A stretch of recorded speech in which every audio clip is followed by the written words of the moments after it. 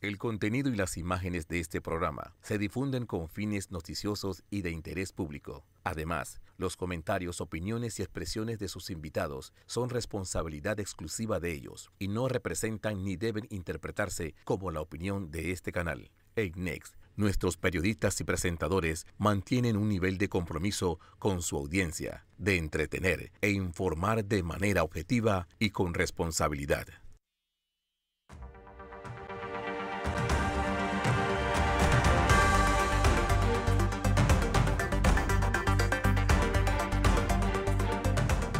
Saludos, buenas noches, bienvenidos a otro jueves de Hablando de Frente. Recuerden que estamos a las 7 y 30 de la noche y cuando no pueden sintonizarnos por Canal 21 Next TV, estamos en las redes de YouTube de Vallarino Panamá y de Next Noticias. Yo vengo de la Asamblea Nacional, hoy fue un día, hoy y ayer fueron días muy, muy movidos con el tema de la, de la ley de extinción de dominio y yo creo que le debo una explicación al país de eh, cuál fue primero la posición de los abogados, porque hay mucho, mucho, eh, mucha desinformación en lo que se está tratando de presentar, en la conducta de muchos diputados versus otros que se mantuvieron en el Pleno y versus cómo inició este proyecto. Yo quiero decirles que cuando nosotros hablamos de ley de extinción de dominio, que ustedes me vieron, los que lograron verlo ayer, yo estuve bastante activo tanto en redes sociales eh, como en la propia Asamblea Nacional.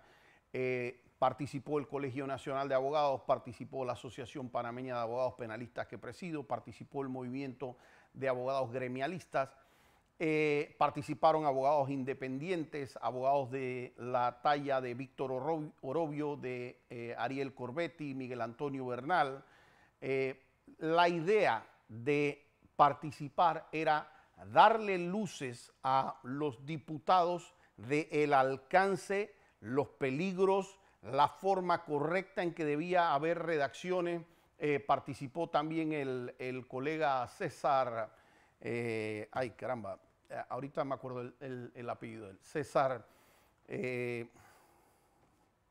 tenido, discúlpame César, que tengo el apellido tuyo perdido ahorita mismo. Eh, muchas personas hicieron grandes aportes dentro de este proyecto.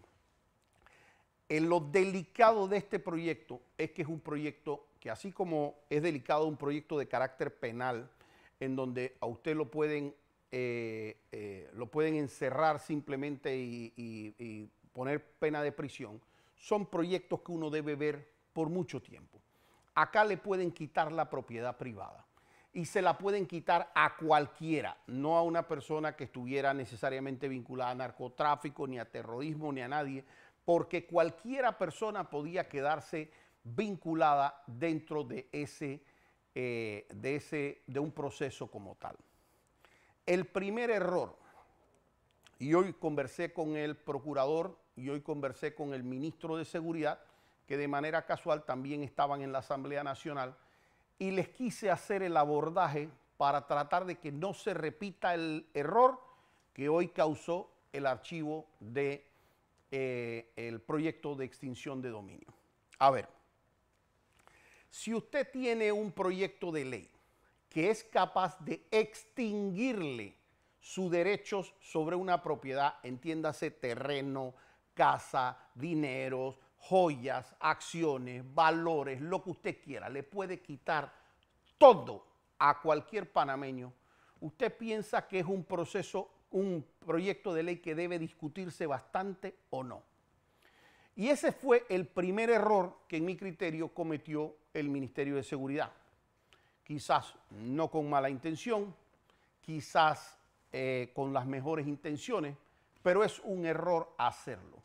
Porque cuando yo voy a hacer algo sobre un proceso penal, por ejemplo, en donde yo sé que va a participar un fiscal, va a participar un juez, va a participar defensa, va a participar las víctimas, va a participar eh, los primeros intervinientes de la Policía Nacional. Y yo voy a redactar un proyecto de ley que tiene que ver con eso. ¿Qué voy a hacer yo?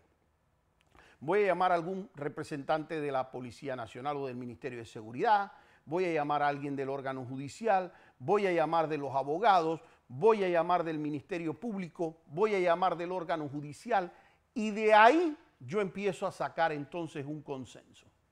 Yo no voy a hacer que a mí la embajada, sea de cualquier embajada que sea, o sea el GAFI, me mande a mí un proyecto de ley y diga, apruébenlo. Primero porque nosotros no somos manzanillos de nadie, por lo menos yo no me considero así. Nosotros somos panameños, tenemos una soberanía y aquí que la respete el que está de visita aquí, sea embajadora del país que sea, que empiece a respetar este país. Nosotros tenemos nuestras propias leyes, aceptamos recomendaciones, damos gracias por ella también, pero a nosotros nadie nos viene a imponer esto lo haces porque lo haces. Y ese fue el primer error. El primer error fue recibir una cuestión que venía de un lineamiento extranjero, que puede ser recomendaciones hacia nosotros, y no voltearse el Ministerio de Seguridad y decir, y esto se lo dije al presidente de la República, y voltearse y decir, vean, abogados, vean la herramienta que se está usando en Colombia, en Honduras, en México, en Salvador, en Nicaragua, en, estos ocho o nueve países, y vean que nos las han propuesto a nosotros. Vamos a discutir sobre la misma a ver qué sacamos. Entonces yo lo primero que le haría como pregunta al quien sea del Ministerio de Seguridad, le diría, a ver esa herramienta y a ver para qué le ha servido esa herramienta a México, a Honduras, a Nicaragua, a Guatemala, a Colombia, etcétera, para ver si es que ellos están mejor que nosotros o no para ver qué mejoría han tenido o no, porque si no están mejor que nosotros y ellos no han tenido mejoría de eso, ni siquiera quiero la herramienta. Entonces, de alguna manera, lo primero que tienes que decir, y esto a nivel, estos, estos son cursos que, que le estoy dando cursos de venta a ustedes, cómo se vende, lo primero que tienes que decirle cuál es el beneficio de eso. No venir a aterrorizar a la gente que esto se necesita. No, mira, esto ha traído este puntual beneficio en Colombia, este ha traído este puntual beneficio en Guatemala, esto ha sido esto en Honduras, esto ha sido en México. Y fíjate qué buena herramienta tenemos aquí. Colegio de Abogados, Asociación de Abogados Penalistas, eh, Ministerio Público, medios de comunicación. Fíjense qué bueno ha sido esto. Esto ha sido lo máximo. Así que nosotros necesitamos hacer algo así en el país. Esa sería la primera parte. La segunda parte sería, ok, ¿cómo lo hacemos? Ah, bueno, es que esto va a ser porque vamos a tener un fiscal de extinción de dominio que a lo mejor va a estar bajo el Ministerio Público. Bueno, entonces tenemos que traer al Ministerio Público a la conversación. Y va a haber un juez de garantía y va a haber un tribunal de juicio, eh, de juicio de extinción de dominio. Así es que van a haber jueces, hay que traer al órgano judicial. Y dentro de eso van a participar defensores y van a participar personas eh, que van a hacer, momentito, vamos a traer entonces a los abogados a que nos opinen sobre este tema. Y adicional a eso, fíjense, aquí van a haber eh, temas de inteligencia de la Policía Nacional, temas que le interesa al Ministerio, venga Ministerio de Seguridad para acá. Y así, en estas normas que pueden afectar temas de la propiedad, etcétera, vengan abogados civilistas, vengan gente de los bancos, venga la gente de la superintendencia de sujetos regulares, regulados, etcétera. Lo que al final, hace quizás un mes, quisieron hacer con la mesa técnica y faltaban algunas. Pero en ese momento tengo que decir que por lo menos ese proyecto dijeron, no nos dijeron cuáles eran los beneficios. Primer problema, porque yo sigo cuestionando, pero estoy dispuesto a escuchar, como se lo dije hoy al ministro y al procurador, Estoy dispuesto a escuchar cuáles son los beneficios de esto. Sería lo primero que me tienes que hablar. Me tienes que decir esto que ha traído como beneficio en Colombia, esto que ha traído como beneficio en Honduras, esto que ha traído como beneficio en Guatemala, en Nicaragua, en México, etcétera, y dime que eso está resultando allá. Pruébamelo con números, con cifras, con testimonios, demuéstrame que eso verdaderamente. Y no me traigas para demostrarme eso al fiscal de extinción de dominio. Ese me va a dar su versión. Quiero oír la versión, las estadísticas reales de cómo esto ha funcionado. Ah, no, porque es que lo quieren que, lo, aprueben la gente de la, que si no nos ponen en lista gris o lo quiere la embajadora. No me interesa tres pares si lo quiere la embajadora, si lo quiere la lista gris, lo que quiero saber es si le sirve para Panamá. Y si la embajadora no quiere informar a nosotros cómo eso sirve para Panamá y es muy bueno para Panamá, por supuesto estamos más que dispuestos a escuchar cómo sirve ese proyecto.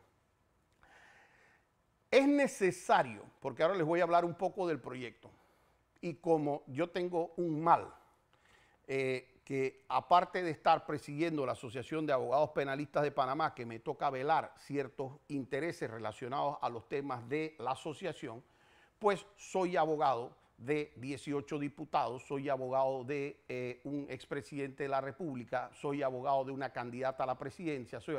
y muchas veces, cuando yo voy de empresarios, etcétera, a estos temas que son debates y deben ser debates técnicos, la gente me quiere mantener un sombrero, este es el abogado de Martinelli, este es el abogado de Zulán, y así tratan de decir como si uno representara un interés. Y aquí les quiero empezar con el último artículo de la ley. Perdón. El último artículo de la ley dice, la ley empezará a regir un año después de su promulgación. ¿Ok? Es decir, el último artículo de esa ley, a partir de su promulgación, si esto se hubiese eh, promulgado más o menos a finales de junio, la ley estuviese entrando en junio o julio 2024, para que entonces se asignen presupuestos, se asignen personal, se asigne una serie de cosas. Es decir, que es el próximo gobierno el que va a usar esa ley, si es que la usara como un instrumento de carácter político. Como no podemos predecir de manera precisa quién será el próximo presidente de la República, lo que sí podemos decir es que a la altura de hoy hay una altísima probabilidad de que mi cliente Ricardo Martinelli será el presidente de la República. Esa es una altísima probabilidad de acuerdo a múltiples encuestas de diferentes lugares y de acuerdo al sentir de muchas altas personalidades que dicen eso. Que si eso cambia o no, por supuesto nosotros decimos eso no va a cambiar y sentimos que va a mantener una preferencia de electorado, pero en teoría, este proyecto de ley pudiera ser Ricardo quien termina ejerciendo. Y yo le he dicho incluso a él, yo no quiero un proyecto así en manos tuya ni en manos de nosotros. Es un mal proyecto como estaba presentado. ¿Y a qué venía que estaba, era un mal proyecto? Bueno, el mal proyecto tenía cosas como, por ejemplo, el inicial, que usted lo podían haber usted podía tener un bien desde 1903 para acá y le podían debatir si ese bien era ilícito o no. Usted podía no estar vinculado a, ningún delito, usted podía salir inocente del delito y ellos podían proceder con la extinción de dominio en un proceso aparte queriendo volver a demostrar. Usted podía salir inocente y ellos querían tratar de volver a tratar de demostrar que usted tenía algún tipo de vínculo dentro de un proceso patrimonial, lo que era como volver a juzgar a las personas. Usted podía simplemente haber alquilado un apartamento, haber alquilado un carro, haber comprado un carro de buena fe, haber comprado una casa y su, su buena fe no se presumía. Se presumía que usted, según la ley, usted actuaba de mala fe. Es decir, usted tenía que demostrar que usted actuó de buena fe, si usted fue, y vamos a poner que un, narco o un estafador, porque era para cualquiera persona, le vendió a usted un carro, eh, eh, una persona que estuvo en el gobierno, pues hizo actos de corrupción, compró un carro y se lo vendió a usted, usted le pagó a esa persona el carro, usted tenía que entrar a demostrar que usted actuó de buena fe con esa persona. Lo que eran excesos de la ley que la hacían muy, muy peligrosas. No prescribía, la querían hacer retroactiva, una serie de cosas que cuando yo vi esa ley, yo de verdad, de verdad que yo decía, esto de verdad que un salvaje hizo esta, este proyecto de ley. Y cuando entramos en la mesa técnica, que no estaba yo y el Ministerio de Seguridad y el, y el Ministerio Público, sino que estaba el Colegio Nacional de Abogados representado, estaba nuestra asociación, estaba el movimiento de abogados gremialistas, estaban diversos abogados independientes. Si bien no tuvimos consenso en cada uno de los artículos, lo que sí hubo consenso es que hubo que modificar. Llegamos como hasta el artículo 25 y habíamos modificado como 20. La ley tenía cerca de 90 artículos. ¿Y por qué pasa esto a rechazo? Yo perdí cinco días de trabajo y para los que saben eso en mi oficina es bastante para mí. Yo eh, eh, vivo una vida bastante ocupada y sacar cinco días de mi oficina es todo un mar. Y en estos últimos días, dos más. Para tratar de hacerles entender que lo que estaban haciendo era incorrecto y que los excesos que podía tener esa ley es como cuando usted le da un arma a una persona, ¿verdad? Usted le da un arma a un policía y usted está dándole, el arma no es la que es mala o buena. El arma eh, usted se la da a un policía y es para cuidar. El arma se la da a alguien que va a hacer algo malo con el arma y está poniendo a mucha gente en peligro. Entonces, para que usted no tenga ese problema, usted tiene que tener controles.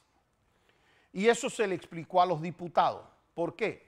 Porque si el arma llega, o la herramienta, como la llaman ellos, llega a ser mal utilizada por un gobierno, entonces le pueden quitar los bienes a cualquiera persona que entiendan es un adversario político, a cualquier empresario que quieran presionar, se puede convertir como se ha convertido en otros países en focos de absoluta corrupción, porque lo que hacen es caerle a los bienes y luego exigirle a las personas casi que una recompensa para dejarlos quietos.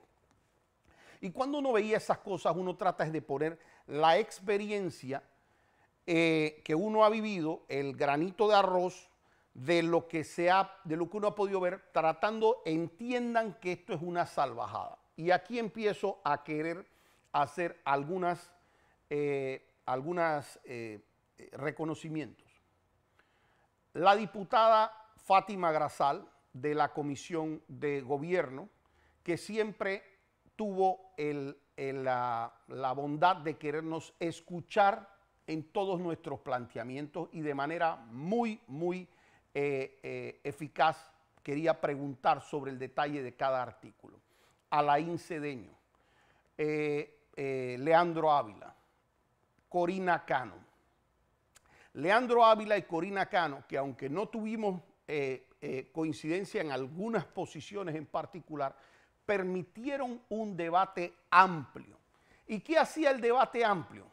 que cuando ellos querían decir, no, lo que pasa es que este es un tema de malos y buenos y no sé cuánto y ta, ta, ta, el debate era frente a los medios de comunicación, el debate era frente a todo el mundo. Y el debate lógico no aguanta que alguien le diga a uno una payasada que no, que no cabe. Así es que artículo por artículo se fueron haciendo cambios en esa comisión técnica.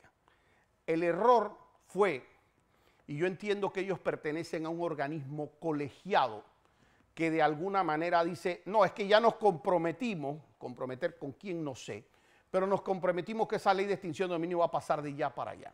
Y ahí vino nuestro primer cuestionamiento como abogados, todos los abogados juntos, y le dijimos un momentito, tú me traes un código penal y tú no me puedes decir a mí, o lo apruebas, si lo apruebas eres de los buenos y si no lo apruebas eres de los malos porque yo te tengo que decir, espérate, déjame revisarlo, un código, y yo te tengo que decir qué cambios deben hacerse desde la óptica de todos los participantes, y ahí entonces te doy la propuesta que yo quiero. Y si usted me dice, no, es que dame la propuesta en media hora, o dame la propuesta en una hora, o dámela en un día, no me está dejando trabajar. Aquí se hizo un código procesal penal en el 2007, yo participé de eso. También en el 2008 se nos pedía opiniones en las comisiones de gobierno y así muchas leyes. Como yo se lo dije al procurador, procurador, usted me ha visto en esta asamblea desde el 2007, 2013, etcétera, y yo no era abogado de ninguna persona de alto perfil. Aquí hemos estado debatiendo por entender cosas buenas para el Código Judicial cuando era después el Código Procesal Penal, el Código Penal, etcétera. Pero den el espacio para las discusiones. Y esas discusiones se ponen buenas y sabrosas, porque ellos dan su punto de vista, que lo hacen con, también con muy buena voluntad de, ver su punto de vista como fiscales, etcétera, y uno le dice, espérate, no, tú tienes que ver también el del defensor, el del defendido, y el juez da su parte, etcétera. Entonces sale de ese macarrón, sale algo positivo. ¿Qué pasa? Cuando íbamos por el artículo 25 y que habíamos hablado un poco de los, del 40, que era, que no, hasta el 30 y tanto, perdón, que eran, no eran tan difíciles, porque la primera parte del proyecto era la más difícil. Se nos dice, no, es que se cierra la mesa técnica porque es que hay que mandar esto al Pleno. Y ya nosotros quedamos con un descontento. Cuando esto llega al Pleno, ya trae unas variaciones de lo que hizo la mesa técnica, que ojo, es, un, es una facultad privativa de la Asamblea el, eh, el rediseñar cualquier cosa. Pero si nos han tenido trabajando en eso como mesa técnica, lo mínimo que como la cortesía indica es, eh, hombre, hemos hecho estos cambios porque tal persona los propuso, los cree y hasta se vuelve a discutir. Cuando el proyecto pasa a segundo debate, ya no es un tema con nueve diputados, es un tema con los 71 diputados de la Asamblea Nacional. Y como les dije, ayer fuimos nuevamente, por invitación de los diputados, al Pleno de la Asamblea para hacer cualquier adecuación al proyecto. Y aquí tengo que decir, lo primero que nos sorprendió a nosotros e incluso a los comisionados de la comisión, entiéndase Leandro Ávila, entiéndase Alain Cedeño, entiéndase eh, Fátima Grasal, Corina Cano, Víctor Castillo, etcétera. Lo primero que sorprendió es que al llegar allá, ah, eso se va a elevar, eh, se va a cambiar en el orden del día y se va a discutir hoy. Espérate un momentito. ¿Cómo tú vas a hacer esa discusión? Y dime qué es lo que está pasando allá afuera en el país. Dime aquí en la asamblea, qué es lo que está pasando, cuál es el, terrorismo que hay, que, se tiene que aprobar hoy o hoy, y si no es mañana, no sirve. ¿Cuál es la diferencia si eso se entra a regir en un año? ¿Cuál es la diferencia entre aprobarlo en tres meses y decir que empiece a regir en nueve meses? Pero el tema era, vamos a aprobarlo ya, para allá, porque queremos que empiece hacer esto ya. Señores, así no podemos ver ni siquiera los cambios que le hicieron en la comisión. Tenemos que ver esto con unos... Ah, no, y habían unas risas de un par ahí. Dicen, no, esto ya lo vamos a aprobar, hacen su par de modificaciones y tal y cual. Cuestionamientos que ni siquiera entienden. Aquí se ha dicho que es que aquí se ha sacado el delito de peculado y cualquier delito que afecte eh, la, lesión patrimonial se sacó de extinción de dominio, que la extinción de dominio es ir a buscar el bien que esté vinculado a la lesión patrimonial.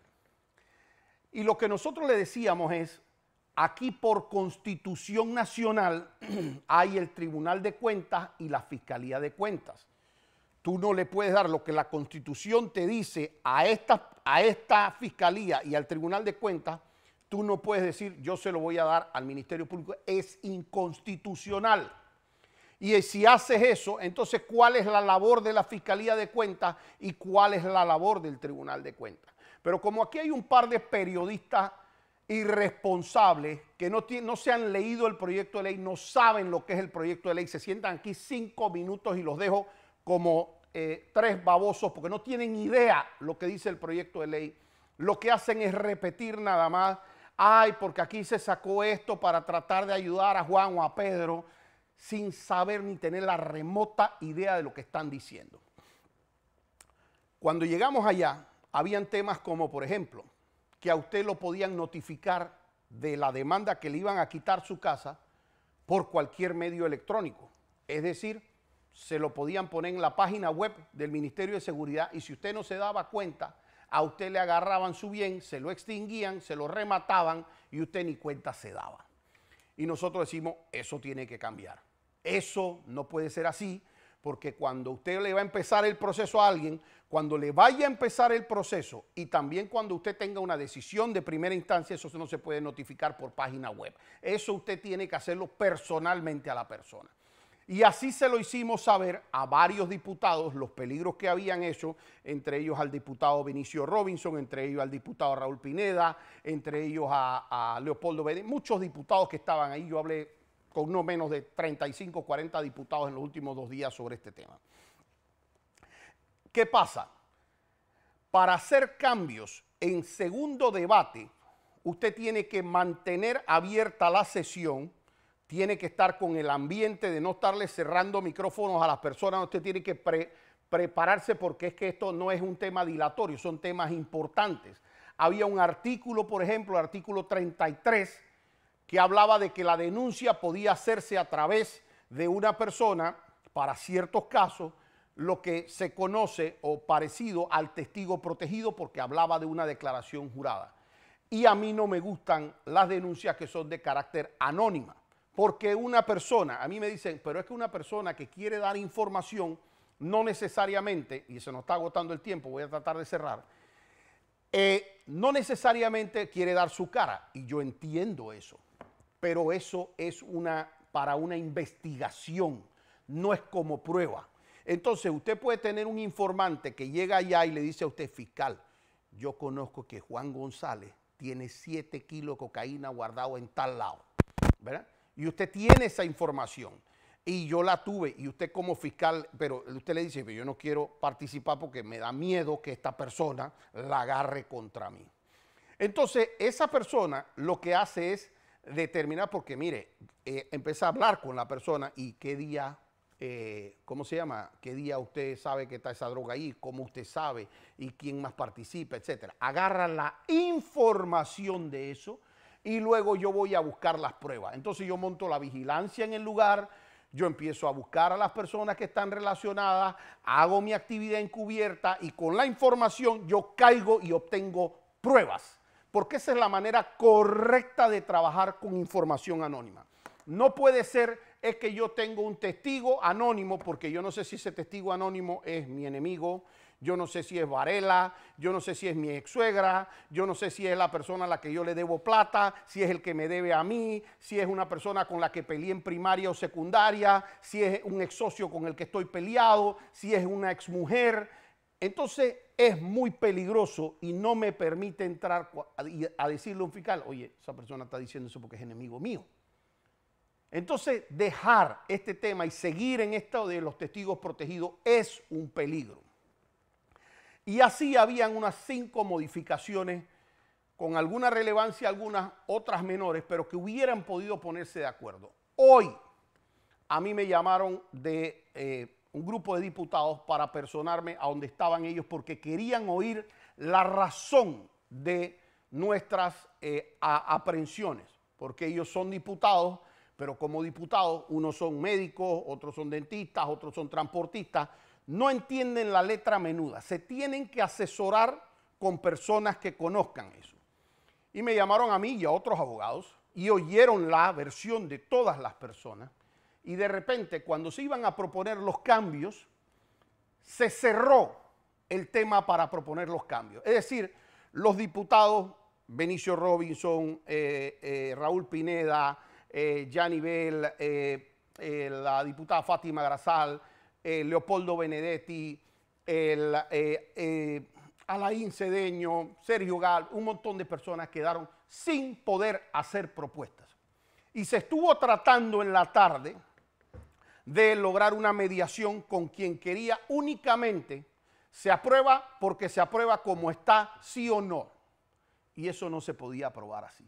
Y así se estuvo hasta las 5 de la tarde o 5 o 6 de la tarde, ahí donde estábamos con los diputados, incluso llegó al final el ministro y el procurador, muy respetuosos, llegaron ambos, ahí se les dijo lo que les dije, yo los abordé y les dije, este es un tema que para hacerlo tiene que hacerse consensuado. Esto no puede estarse haciendo a, la, a, a este escenario y de hecho lo que se haga consensuado, nosotros tenemos toda la voluntad de participar como lo hicimos en el Código Penal, Código Procesal Penal, etcétera. Pero háganlo consensuado. Entonces, el mensaje hoy, y con esto culmino, es que para pasar leyes tan sensitivas como una ley de extinción de dominio o como sería un Código Procesal Penal o un Código Civil, no puede venir de una parte del Ministerio de Seguridad y decirme que esto me lo mandó tal embajada, así que agarren y pásenmelo. Porque nosotros no somos unos perros aquí nosotros tenemos soberanía, tenemos dignidad nacional y nosotros también sabemos aquí cómo buscar un mejor producto jurídico que pueda servirle al panameño sin que haya temores de una eh, persecución política, que era uno de los temas que se tenía con el proyecto, o que simplemente fuera a permitir los excesos diarios que muchas veces se tienen en casos donde con un testigo protegido, donde con un informe anónimo, donde sin notificarlo a usted, a usted le pudieran quitar la propiedad porque usted resulta ser que tenía un sobrino vinculado a alguna actividad ilegal, porque usted le alquiló a una persona que estaba en algo. Y eso fue lo que hoy ocurrió en la ley de extinción de dominio. Los voy a dejar, el próximo jueves vamos a estar tocando un tema político candente aquí, así que los espero el próximo jueves y los dejo aquí hablando de frente.